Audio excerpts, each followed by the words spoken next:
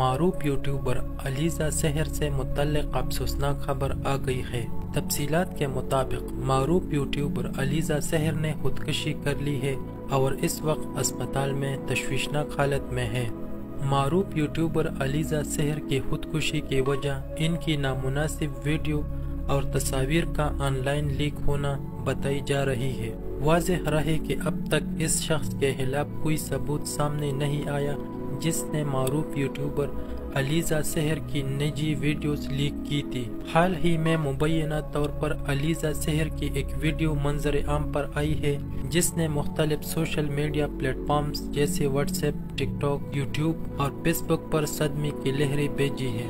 इस लीक होने वाली फुटेज ने तेज़ी से पजीराई हासिल की है।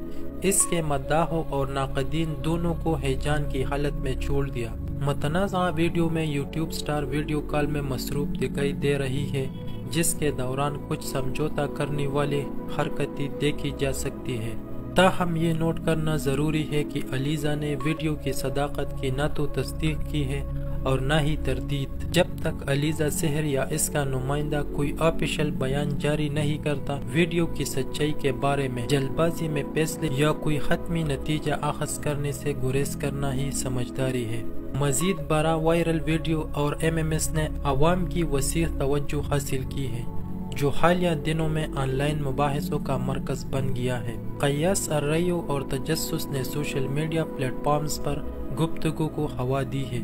अलीजा शहर की लीक होने वाली वीडियो एक मुख्तसर क्लिप है, जिसमें मुबैना तौर पर इसे वीडियो कॉल के दौरान एक नामालूम शख्स के साथ समझौता करते हुए दिखाया गया है।